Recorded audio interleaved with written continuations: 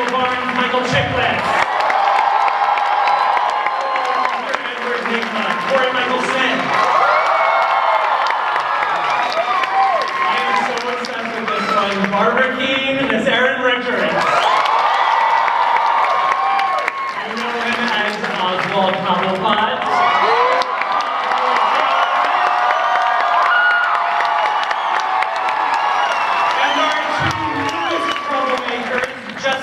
Getting shot down. Now he's crazy, which is awesome. you find out also when you go crazy in, in uh, Gotham, you actually get a little sexier because the guy in the mirror can get it.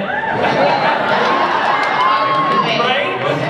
Yeah. Right. So then talk to me about how how you because you had said that you were actually kind of you like the idea that we that we got such a such a build up because this really gave you stuff to work with, right? Yeah, for sure. Uh, John Stephens was really testing my patience last.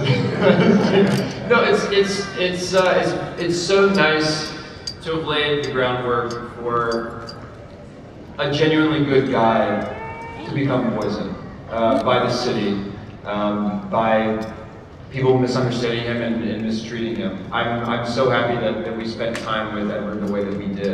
Um, because the kind of crack that happened um, after he killed someone and protected this woman that he loved, you know, he did a good thing for her and kind of for himself, but it's, it's horrible. It's horrible. I mean, he's, he's having to confront these two sides of himself. So it's, it's, uh, I feel like the ricochet is something that I can very organically do.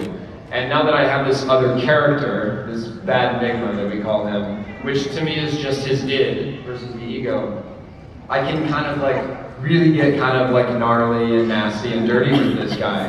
Uh, in, a, in a way that, that like balances out the sweet little And I think this week Nigma actually kind of mans up. Yeah! no more cupcakes and bullets. No more silly riddle pants. Uh,